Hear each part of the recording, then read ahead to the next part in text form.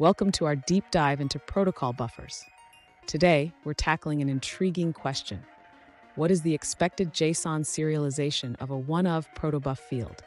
This is a topic that can leave many developers scratching their heads, especially when it comes to understanding how to properly serialize messages with union types.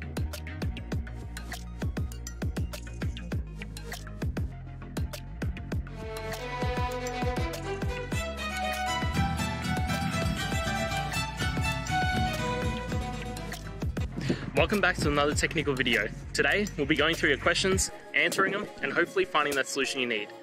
Guys, remember to stay just a little bit crazy just like me, and hopefully you'll find that solution you're looking for. Now, let's continue on to the video.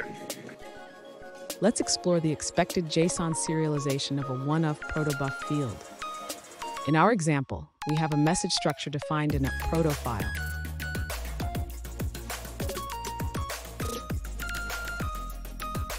The question is about how to serialize a message of this kind into JSON format. There are two common approaches to consider.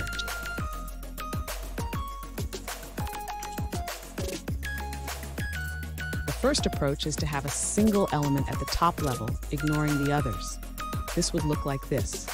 Baziz with a value and foo as an object.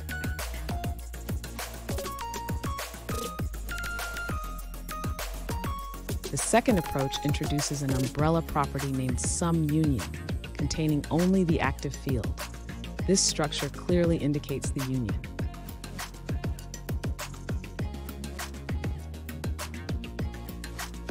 So, which approach is correct? According to the JSON mapping for protobuf, the second approach is the expected way to serialize a oneof field.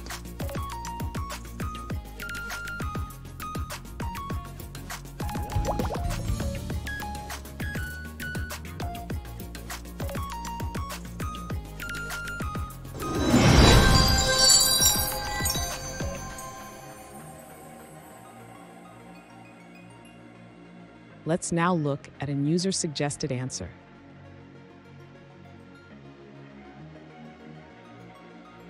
The test code indicates that the first option is the correct one for the JSON serialization of a oneof protobuf field.